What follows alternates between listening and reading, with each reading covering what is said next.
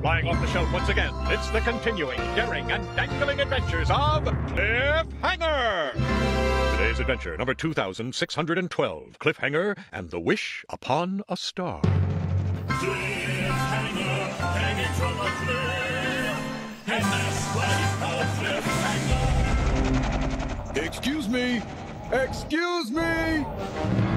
We find Cliffhanger where we left him last, hanging from a cliff.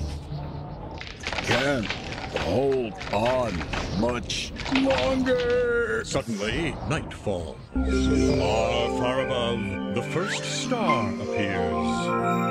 Sharp as a tack, Cliff reaches into his backpack and extracts his trusty survival manual. Using his expert decoding skills, Cliff begins to read. When you see a star, make a wish.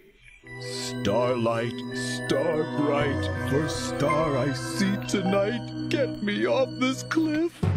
Cliffhanger, hanging from a cliff. Excuse me, Yes, would you folks mind rescuing me? Can all be well thanks to Cliff's wistful wish?